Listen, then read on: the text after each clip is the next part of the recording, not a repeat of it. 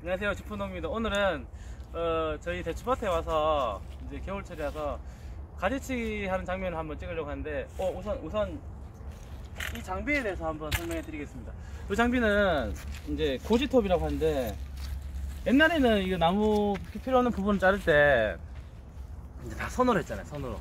자르고 하고. 시간 오래 걸리고 했는데 그 옛날 또 전기톱 중에도 요만한 손잡이톱도 있는데 요즘에는 이제 나무가 높다 보니까 이런 한 2m 정도 되는 여기 이제 중간 체인이 있어요. 체인이 있어가지고 이 안에 체인이 있는데 체인이 요 톱날하고 연결되어 가지고 이제 손쉽게 나무 저 윗부분도 자르고자 하는 부분을 자를 수 있습니다.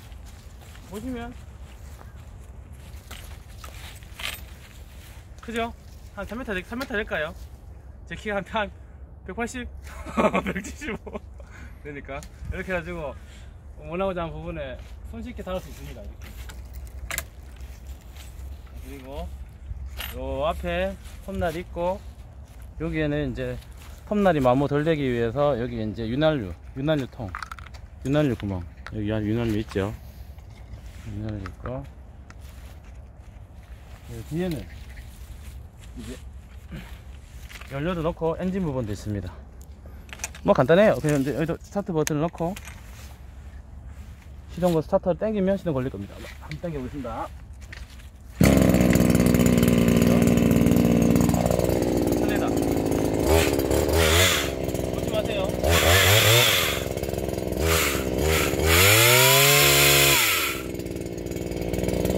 자 한번 달라보도록 하겠습니다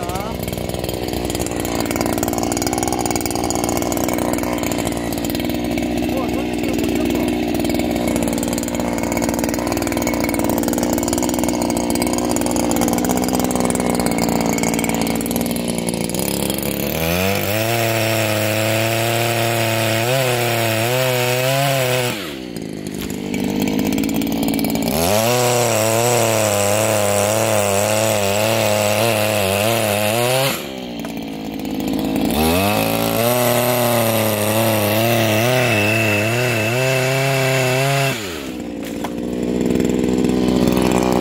네, 여기 구경 3주년 좀 해보시죠.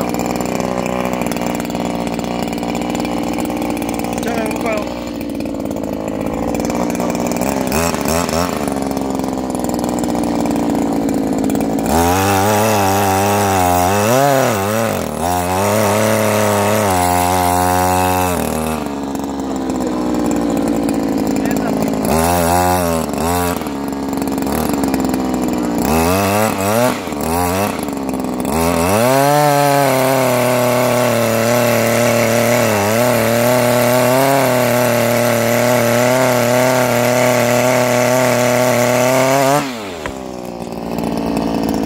바로 잘랐습니다. 자, 이런 식으로 해서 드럼 전지하는데 되게 높은 부분을 빠른 시간 내에 효율적으로 빨리 자를 수가 있습니다.